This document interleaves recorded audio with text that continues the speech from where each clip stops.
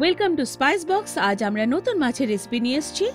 যার নাম হলো জিতাদা কালওয়ান। জিতাদা হলো এই মাছটার লোকাল নাম। আপনি যে কোনো মাছে এই গ্রেভি দিয়ে বানাতে পারেন। কালওয়ান মানে হলো কারি। চলুন দেখে এই মহারাষ্ট্রিয়ান প্রিপারেশন কীভাবে করতে হবে। আমার কাছে আছে কাটা মাছের পিস কিছু তাজা নারকেল, কাঁচা লঙ্কা, ধনে পাতা, কুচনো পেঁয়াজ। এটা হলো রসুন আর আদার পেস্ট হলুদ লঙ্কা গুঁড়ো, হিং, জল, তেল, নুন, আর এটা হলো কোকম, জলে ভিজে রেখেছি। সবচেয়ে প্রথমে আমি বানাবো বাটা মশলা আদা রসুনের। তো আমি এখানে নিয়েছি সাত আটটা রসুনের কোয়া, খানিকটা আদা, হাফ থেকে ওয়ান ইঞ্চ অল্প ধনে পাতা। আপনার স্বাদ অনুযায়ী। আপনি কাঁচা লঙ্কাও দিতে পারেন। আমি একটু জল নিচ্ছি। আমি নিচ্ছি হাফ কাপ পুরনো তাজা নারকেল।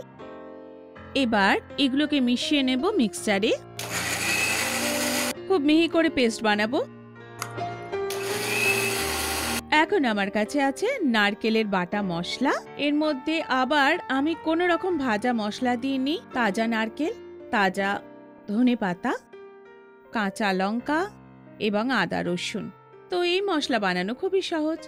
আর মশলা তৈরি করতে বেশি সময় লাগল না। এবার গ্যাস স্টোভটা জ্বালিয়ে নেব, কড়াইতে তেল দেব। দুই থেকে তিন চামচ তেল গরম করব, হালকা ভাজার জন্য যথেষ্ট।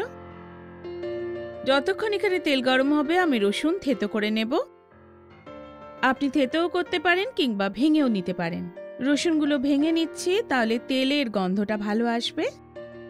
ওদিকে তেল গরম হচ্ছে, সেই সময়ে আমি মাছগুলোতে হলুদ আর নুন লাগিয়ে রাখব। আমি মাছে দিলাম এক চামচ হলুদ গুঁড়ো, ডিপেন্ড করছে আপনি কতটা মাছ নিয়েছেন তার উপর, দু চামচ লাল লঙ্কা গুঁড়ো, একটু নুন। তেল যখনই গরম হয়ে যাবে, আমি এর মধ্যে দেব ভেঙে দেওয়া রসুনগুলো।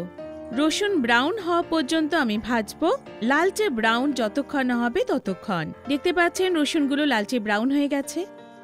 ঠিক এই সময় আমি এতে দেব এক চিমটে হিং আর খানিকটা কুচনো পেঁয়াজ। আমি পেঁয়াজটা ভাজতে থাকব যতক্ষণ না ভালো করে ভাজা হয়। যেই পেঁয়াজ একবার ভালো করে ভাজা হয়ে যাবে, আমি এতে দেব মাছ আর ভালো করে মাছগুলোকে ভাজবো।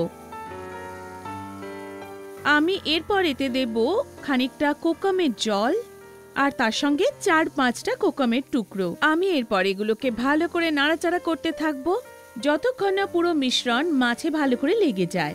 এরপর আমি মাছটা একটু টস করব আমাদের মাছ প্রায় ভাজা হয়ে গেছে, কারণ রং বদলাচ্ছে, এরপর আমি এতে মশলার পেস্ট দেব। আপনারা দেখতে পাচ্ছেন যে মাছের রং বদলে যাচ্ছে মানে রান্নাটা হয়ে গেছে। এতে মশলাটা ঢেলে দিই যেটা আমরা তৈরি করেছি।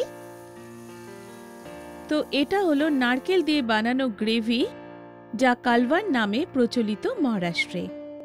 এবার এতে খানিকটা নুন দেব। আমি এর আগে মাছের পিসে নুন লাগিয়েছিলাম। যতটা দরকার ততটাই দেবেন। এবার খানিকটা জল নেব। আপনি যতটা গ্রেভি রাখতে চান সেই হিসাবে জল দেবেন। এবার ঢাকা দিয়ে ঢেকে রাখছি যতক্ষণ না এটা ফুটতে শুরু করে। যখনই কারিটা ফুটতে শুরু করবে, তখন গ্যাসটাকে স্লো করে দিতে হবে। এবার চেক করব। খুব ভালো রান্না হয়েছে। দারুণ সুগন্ধ আসছে।